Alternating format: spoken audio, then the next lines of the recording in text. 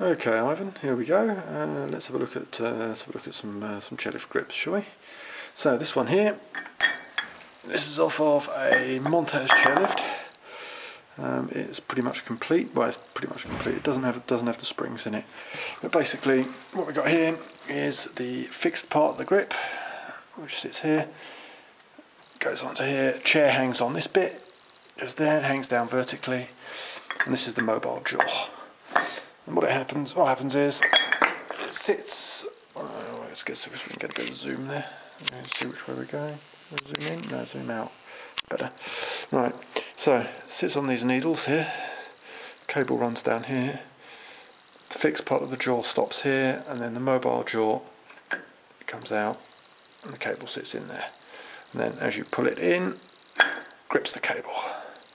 So what we've got sitting in here is a bunch of washers, a bunch of spring washers that, uh, that pull the mobile jaw in as tight as you can get it so that it doesn't slip on the cable.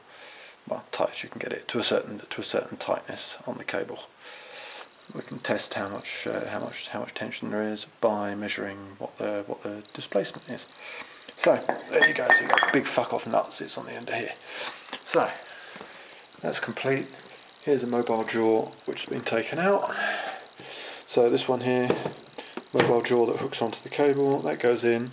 There's a great big pile of Belleville washers, which are the domed washers that give a spring action. They're all full of grease, which means I'm going to get filthy hands, but there you go, never mind, eh?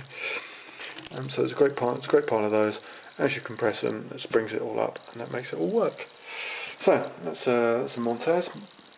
Uh, this one here that's a Skirail, which is, hang on, let's. Same principle basically. Chair hangs on here. There's your mobile, there's your mobile jaw which comes out this way, all held in place by this big fuck off nut here. Um, inside there you've got a bunch of Bellevilles again. There they are. That's a ski. That's a Skirail jaw. So there's a big pile of big pile of Belleville washers. So what you've got is three in each direction. So I've got three that dome that way and three that dome that way. It looks like six together. So when you squash it together, it goes, makes them all flat. There you go, and they all get filled with grease as well. And then there's those ones. These are these are Poma ones, which have got their grease on. How about that? All that red goop in there. Same shit. Uh, there you go. Pile of Belleville washers inside a Poma thing.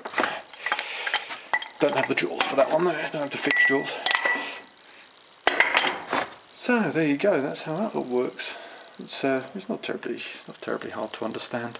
There's the spare bits that we've got lying about. You see, there's some that's a Poma jaw again. There you go. Tells you how to how to mount the springs and all that sort of stuff. Piece of piss really. Then when you get onto a chairlift that's uh, that's automatic, this stuff all auto opens automatically. Anyway, ah.